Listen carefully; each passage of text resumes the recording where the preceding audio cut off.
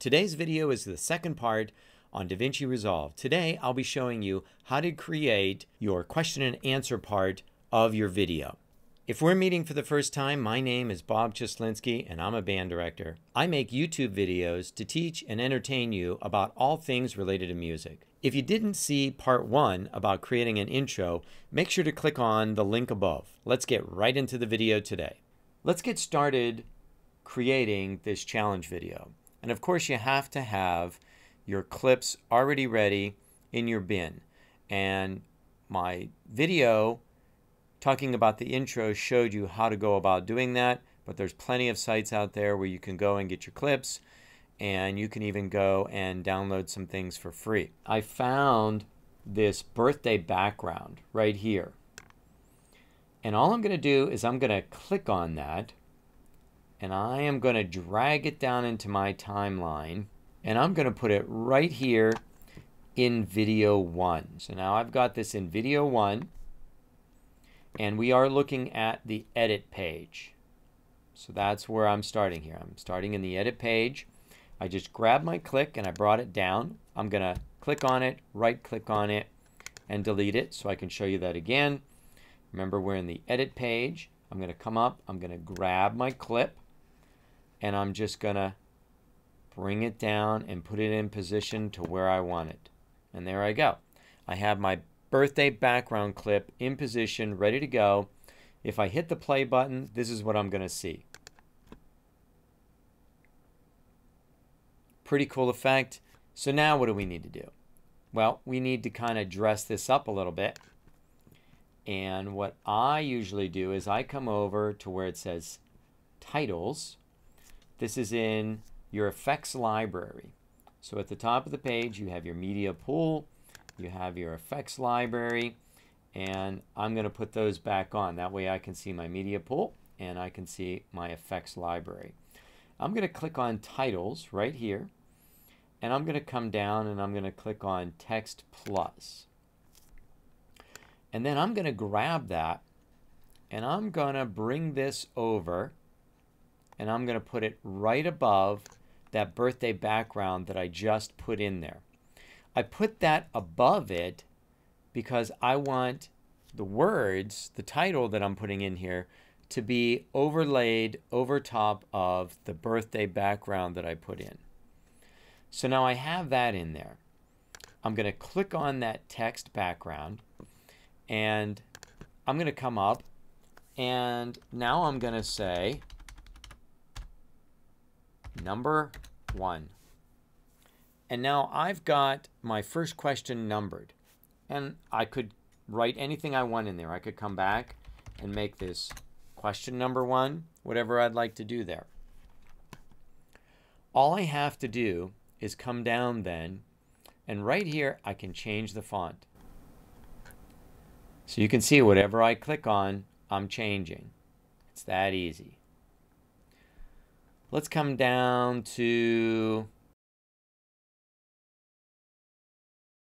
Oh, that looks like a pretty good one. Niagara Solid. So I clicked on that. I like the white lettering over top of the blue background, so I'm going to keep that. But if I did want to change it, I just click on the color palette and I can click on any color that I want. I just hit OK and there it is. It's going to change the color. Pretty simple.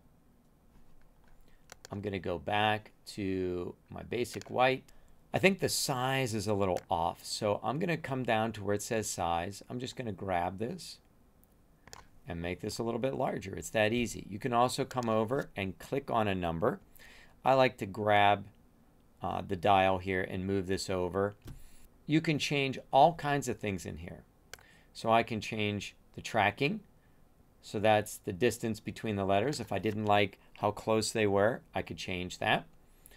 The line spacing, if I have several lines, I can change how close or how far apart those are.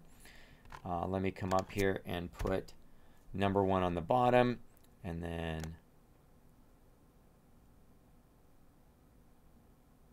get the tracking lined up so we can see the letters a little bit better. And then here's the line spacing. So I can move them farther apart or I can move them closer together. You can even overlap if you would like. All right. I'm going to come back though and I'm going to bring my question number one back to where it belongs. So, so far we've put our words in, we've changed the font, we've changed the size, we could change the color, and now um, how close the letters are to each other and the line spacing. And that's pretty much what I worry about when I come in here and I do that. You can change some of these other things if you would like, but I like to keep it pretty simple and basic. Across the top, we have layout. So I can grab these X and Y axes and I can change where my words are on the page this way also, just by going up and down with that. So we've got question number one in there, and we've got our background.